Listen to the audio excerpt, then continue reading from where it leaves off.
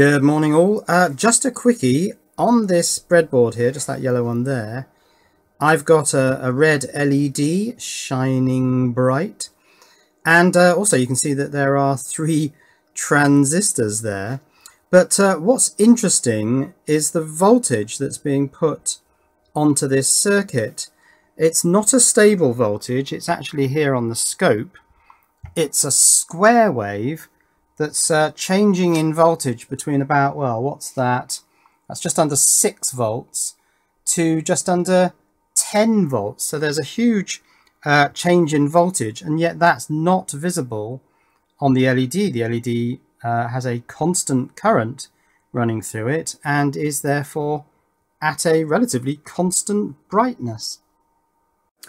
Um, so let's just see the effect of changing the uh, offset voltage on the scope. I'm actually using the scope's uh, waveform generator to generate this waveform. So let's lower the uh, offset voltage, bring it down. So the lower voltage is actually quite low. Let's bring that down to 2 volts.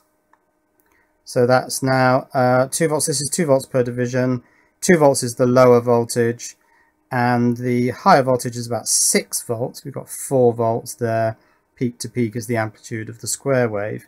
And now, of course, you can see that the um, current regulators are not regulating and the brightness of the LED is uh, very visible. Let's take this back up so that the minimum voltage is about well, 5 volts or something like that, between 5 volts and uh, 9 volts now. And once again, you can see that uh, we have a completely stable LED brightness, constant current, courtesy of these transistors. So what are these transistors? Well, they're JFETs, and uh, they have this sort of um, current limit, this inherent maximum current. So yes, they work as a very simple uh, current limiting circuit, which is ideal for an LED. Now, why have I got three here? Well, because the current limit for this particular transistor is rather low, and if I pull out uh, two of them, you can see that the LED is not particularly bright because this particular JFET is limiting the current to something rather low. But you can still see that there's no um, change in brightness with this 5 hertz variation between currently about 5 and 9 volts. It's completely isolating that and providing a constant brightness glow. Um, so let's see what uh, this looks like when you current limit it in the conventional way. So let's take out this JFET, that of course switches off. And now I'm going to put um, a 1K resistor into this circuit. And, you know, that's the conventional way to limit current. But the current uh, through an LED is only regulated, it's only constant, if the voltage to the circuit is constant if you're using a resistor. And here, the voltage to the circuit is varying wildly and quite quickly, 5 hertz the uh, wave generator is set to. And therefore, with a 1K resistor, yes, you certainly do see the uh, difference in brightness between um, the 5 volt level and the 9 volt level.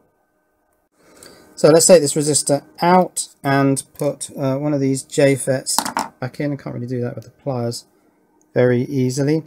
Now the JFET um, has a link, which you probably noticed sitting here, linking source, um, no, linking the gate to the source. The middle pin is source.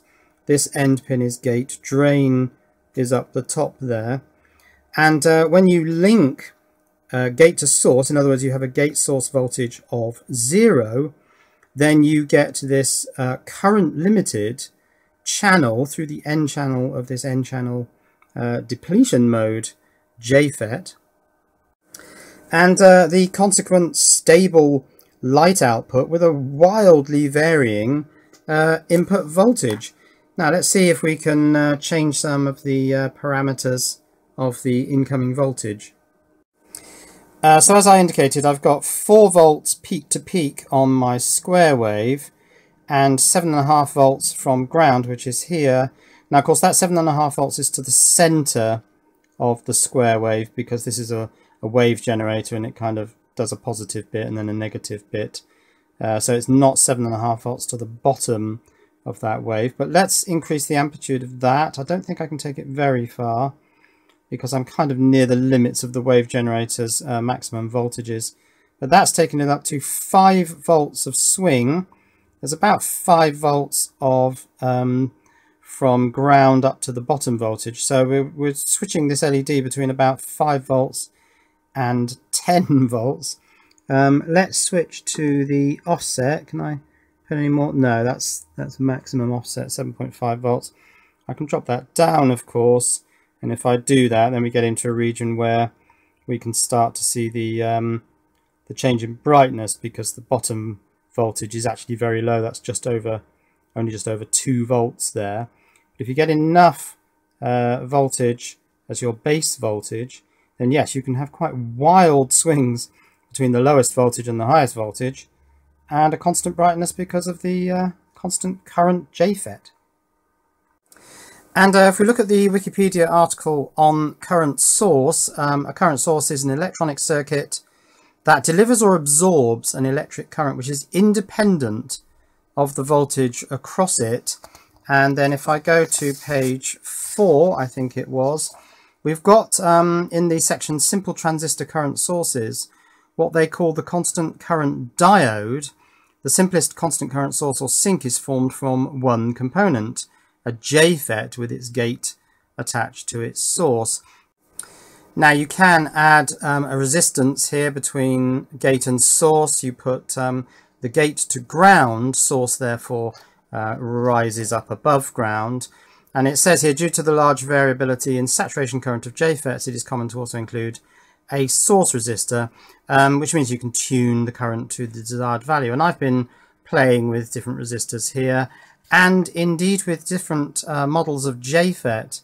But I found this one, the J201, to be most effective at providing a completely constant current with this very large swing in voltage, almost a doubling of the voltage here from about 5 volts up to, well, what's that? That's, uh, yeah, that's pretty much 10 volts there.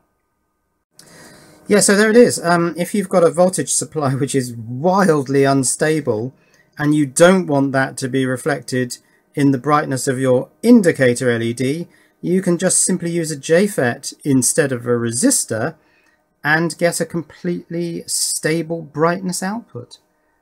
Cheerio. Good morning all. Uh, just a quickie. Oh, for